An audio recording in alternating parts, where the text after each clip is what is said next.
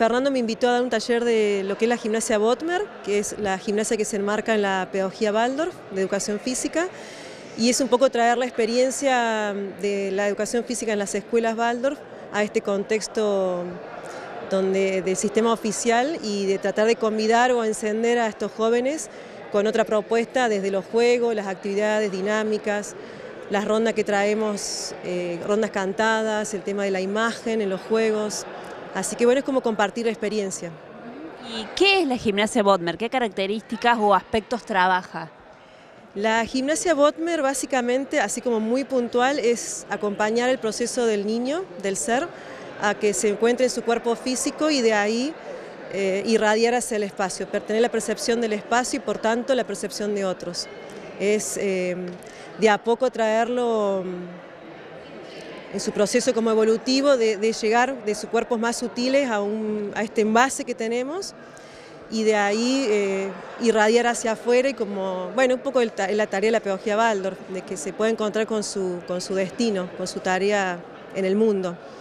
Y la Botmer trabaja sobre las leyes del espacio, leyes físicas, leyes de punto y periferia, las nociones espaciales y bueno, hay ejercicios específicos para cada edad donde ayudan, según la edad del joven, a trabajar esa cualidad, en la que él está, su cualidad anímica, espiritual, con lo que está en su cuerpo físico, biológico.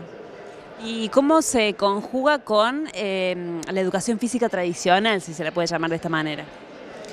Que mm, en verdad es una mirada holística al ser humano, es una mirada más ampliada, no solamente desenvolver el cuerpo físico,